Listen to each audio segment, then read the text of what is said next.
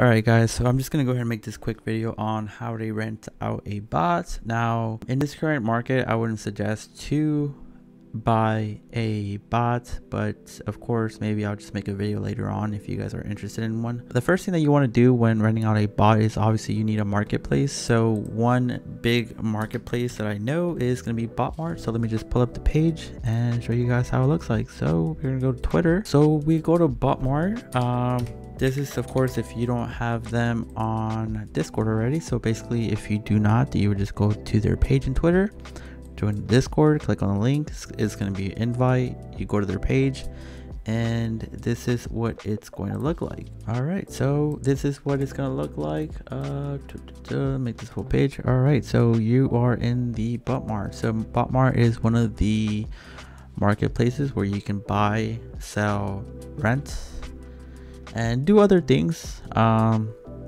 sell other things like sell gmails uh, even shoes and stuff like that. But mainly it's just for bots. One thing that i do want to advise is that not every single bot is rentable. I'm not sure if that's a word but not every single bot you're able to rent. Uh, for example for whatnot you're not able to rent out. For valor you're not able to rent out. Trickle you're not able to rent out.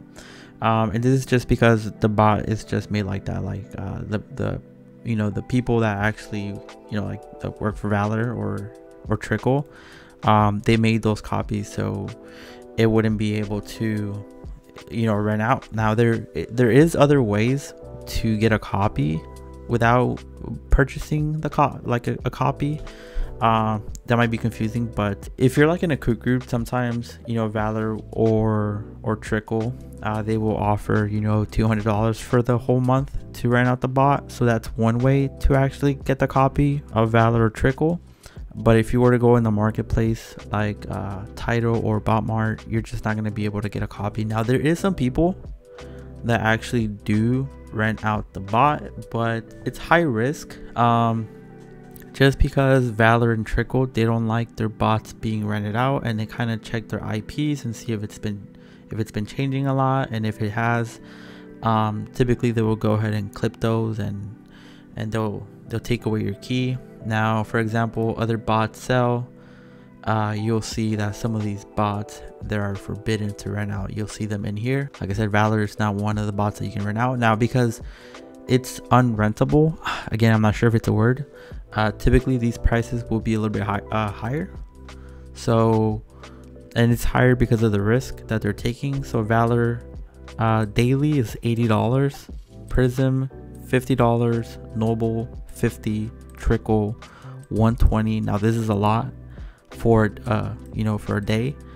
Um dragon 190 so you can still rent out the bot you know trickle prism valor whatever but you are going to pay way, way, way, way more um, in compared to other bots. So for Wrath, you know, daily, and this is what people are, are are selling their rentals for, you know, per day or per drop is around $10. We're looking at the most maybe 15 or 20. I mean, it is what it is. You can still rent it out, but uh, you're just gonna have to pay a lot more. So basically what you wanna do is if you wanna rent out a bot, there's two things or two options that you that you have either you can make a posting and say that you want to rent out um, Wrath, for example, say your price and for the day, or you can just go to the rental sell and see what what people are want to post. Um, for example, uh, we have um, this guy. So he wants to rent out Wrath. You know, forty dollars for June, July ninety dollars, daily ten dollars, depends on drop.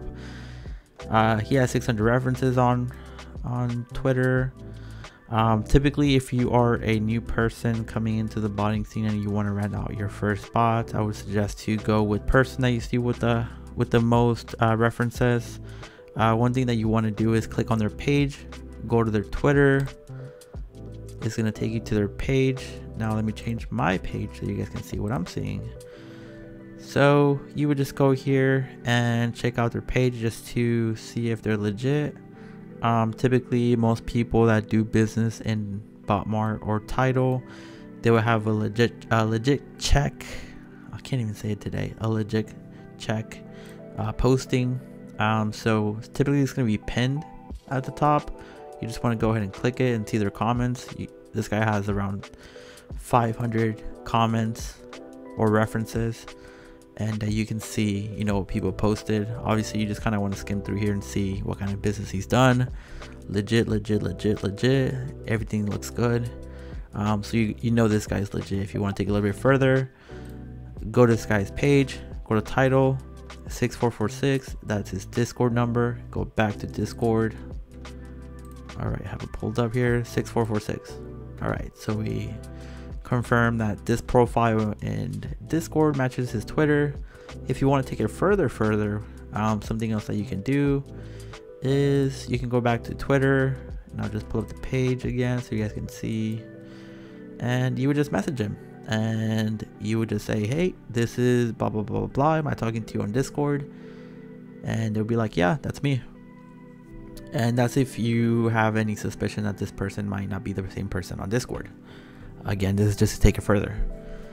Um so for rental buying um, one thing that I do want to mention is there is an option that you guys can take if you guys want to be super super safe. Um, that is going to be to uh, have a middleman.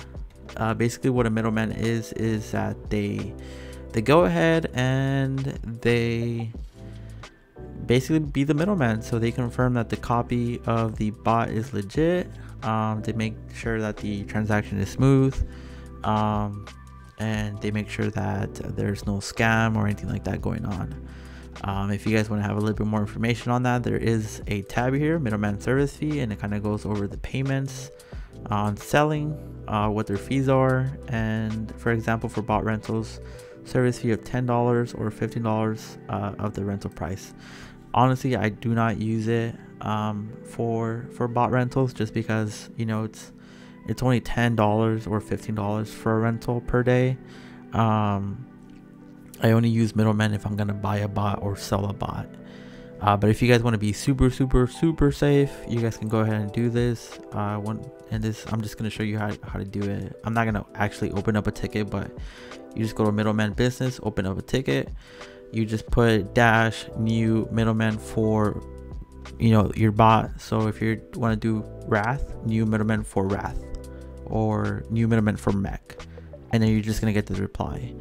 Uh, typically um, depending on the time you'll get a person assigned to your ticket pretty quick um, it may take some time if you do it at night. It may take uh, you know half an hour to like 45 minutes. I've had that you know before. Um, yeah so that is going to be about it. Um, this is just how to rent a bot.